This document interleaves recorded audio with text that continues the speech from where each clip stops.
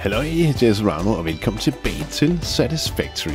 Der har lige været en, en okay update til det her spil her, men ved I hvad, der ikke var særlig okay ved den her update, det var, at nu er jeg startet forfra. Der står ellers, at, at man godt kan fortsætte på sit gamle save, men slap af. Jeg gider ikke høre på hende der igen.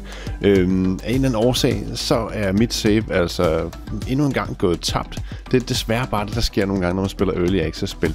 Men ved I hvad? Det er stadigvæk et super cool spil. Så jeg vil lade det være op til jer, om vi skal fortsætte med Satisfactory, altså om vi skal starte forfra wow, et eller andet sted øhm, på den her planet her. Og hvis vi skal det, så synes jeg, at jeg skulle tage at smide den her video like. Det er super, super vigtigt den her gang. Og også rigtig, rigtig gerne en kommentar. Fordi hvis der ikke er særlig stor øh, hvad hedder det, opbakning til, at jeg skal fortsætte en serie med Satisfactory, så gør det altså ikke. Så finder vi på et eller andet andet år, som at spille. Og jeg har nogle andre spil i ærmerne, som vi også godt kan spille.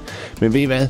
Jeg vil lade det her være en super, super kort video for Satisfactory. Øhm, fordi lige nu, der ved jeg ikke rigtig, ved jeg ikke rigtig, om der er, er stemning for, at vi fortsætter det her. Jeg synes selv, det er et super cool spil, og jeg har nydt det rigtig, rigtig meget at spille det her. Også selvom der ikke har været specielt mange views, men det er også ikke det, det kommer an på.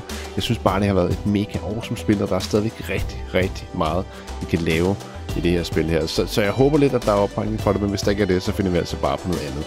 Men smid en kommentar og også gerne et, øh, et like til den her video, hvis I godt kan lide det. I må også gerne smide et dislike, det er sådan set fuldstændig ligegyldigt. Bare I kommer med en kommentar også, så bliver jeg super, super glad.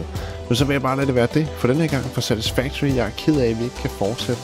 Men altså som sagt, det er hvad der sker en gang imellem, når man spiller Early Access-spil.